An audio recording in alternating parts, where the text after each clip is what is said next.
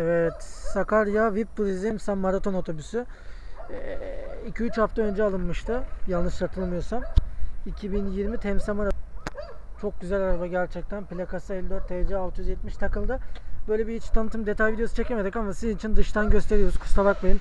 Aracın şoförünü veya sahibini bulamadık şu anda. Şirket arabası büyük ihtimalle ama dış deta dış tanıtım çekiyoruz. Yani daha maske takmama rağmen kokusu bile üstünde şu an. Alkool jantlı 2020 Metsan Otomotiv'den alındı bu. Sıfır ara- araç sıfır alındı 2 artı 1. Ee, Daha önce bir turizma vardı o satıldı. Onun yerine bu alındı. Gerçekten çok güzel. Elimden geldiğince dıştan göster. Bu arada da çektik ama içinde kimseyi göremedik ama mecburen şimdi dıştan göstermeye çalıştık. Sizler için de gösterelim dedik çünkü. Sıfır hatta koy içlerin içinde buradan birazcık göstereceğim.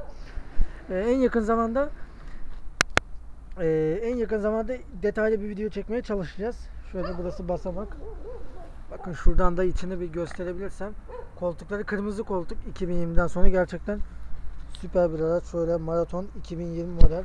Vallahi 2020 araç görmek çok zor. Ama sıfır gibi bir araç yani gerçekten. Böyle kokpitinde görüyorsunuz şöyle sıfır dijital gösterge. Kırmızı koltuk var. E, 2020'lerde kırmızı koltuklar var artık Safir Plus ve maratonlarda. Vallahi bir turizme bayağı yakışmış.